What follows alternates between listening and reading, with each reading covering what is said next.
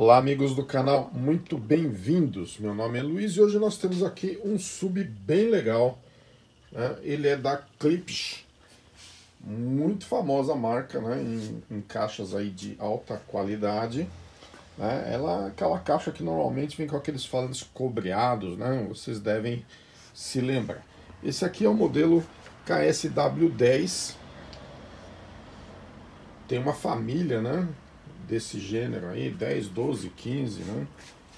E eles são muito, muito eficientes mesmo, bonitos, discretos, né? A marca é top. Vamos dar uma olhadinha aqui nele, né? Ele tem ajuste de volume. Ele tem aqui o low pass para você regular, né, o, o, nível aí de, de baixas, né? É, e de acordo também com a ligação que você vai fazer, é claro, né? Você tem aqui entradas, é, entradas tipo RCA, né? Mas também com banana. RCA não, me perdoem. Né? Fio descascado aqui, o banana aqui direto. Né? E você tem entrada RCA também. Né? Então é, é, possível fazer vários tipos de conexão. Ele tem ainda o LFE, é a conexão atualmente acredito que é a mais utilizada. Né? E aí você liga diretamente, como eu vou fazer aqui com o nosso receiver da Sony, daqui a pouquinho eu mostro ele, eu vou ligar diretamente aqui, tá? Vou deixar aqui low pass direto, porque o receiver, ele faz já a divisão, né? Então não, não é necessário fazer a divisão pelo crossover do, é, do nosso sub, e aqui ele tem uma tecla muito interessante que é desligado, automático e ligado. Então, posição mais utilizada também é alto, que aí quando você liga o receiver ele já aciona, né? Logo quase em seguida ele aciona e fica preparado. E quando você desliga o receiver, em pouco tempo ele faz o desligamento automaticamente também. Né? Então, chave legalzinha aí de usar. E ele tem várias, várias é, informações aqui, né, de risco, de perigo, né, e o cabo de força também tá bem legal, muito bacana.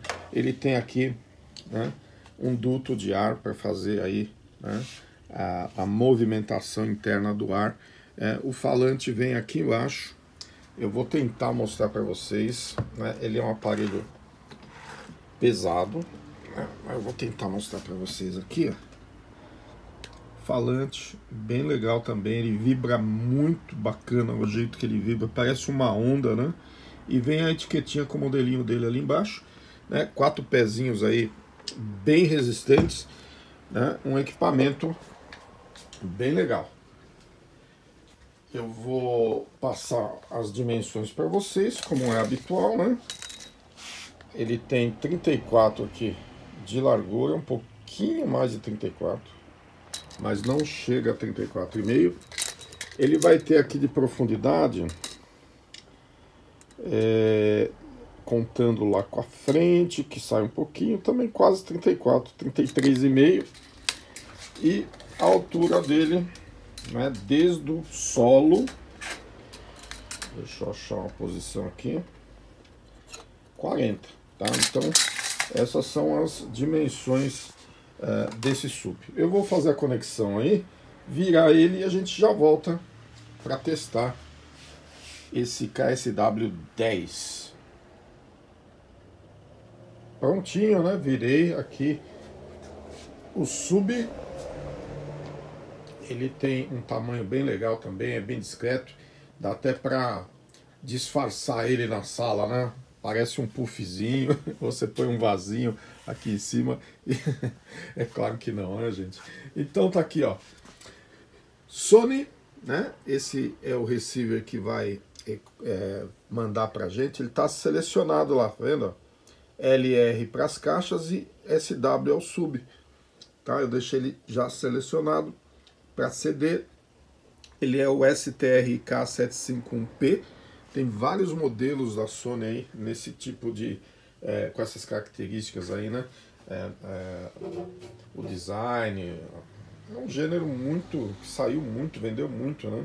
A gente vai utilizar aqui para o CD o NS725P da Sony também, né? até fez um conjunto bem legal, não foi intencional, né? E também as caixas Sony, que eu já fiz o vídeo delas e elas estavam aqui. A gente está praticamente com um conjunto Sony aí, né? São caixas SSB 3550AV. Né? Elas vão tocar aí o estéreo na esquerda e direito. E aqui o sub vai dar aquele grave legal, né? E quando a gente liga o receiver, isso aqui está em vermelhinho, ele em alguns momentos ele fica assim verdinho. Ele já está pronto está acionado, está ligado, né? Isso é bem interessante porque é, tem alguns subs que ficam ligados ali direto, né? É meio complicado, você tem que ir lá desligar o botão e tal. Então, esse daqui é bem interessante, tem esse sistema automático aí. Mas sem mais delongas, vamos ao que interessa. Vamos dar o play aqui. E a gente vai passar algumas músicas aí, tá?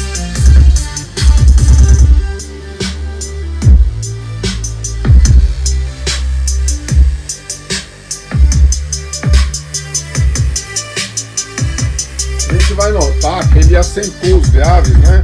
É claro, a gente tá num som baixo aqui, né? Mas ele numa sala, no piso, faz até tremer, tá, gente? Vamos lá, vamos passar um pouquinho aqui.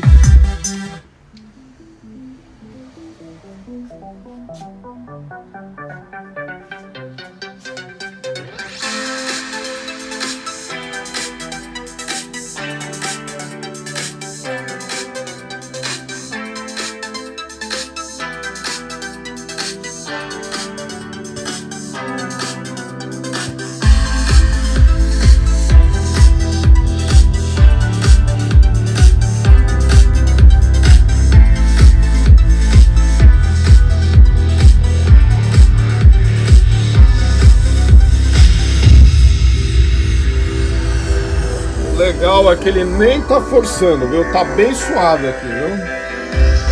Vou passar outra aí, vocês vão tendo uma ideia aí.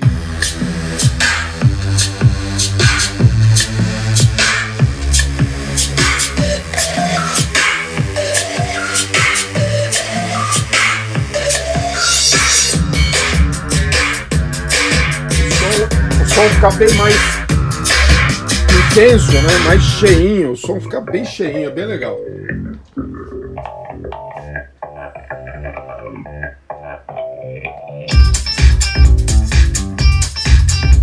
Muito bom, acho que deu para ter uma ideia né, da capacidade aí.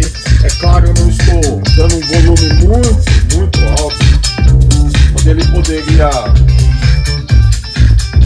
ele poderia fazer uma demonstração talvez melhor, porque aí vai pular a mesa, vai saltar CD, aí já vira um salseiro, né? Então, só para demonstrar que está funcionando e como que ele é, eu acho que se você gostou, dá um joinha pra gente aí, não custa nada, você pode se inscrever, você pode compartilhar, né? E tá aí presente com a gente nos próximos vídeos com equipamentos desse gênero, equipamentos mais antigos, em geral mais antigos, e alguns não tão antigos assim.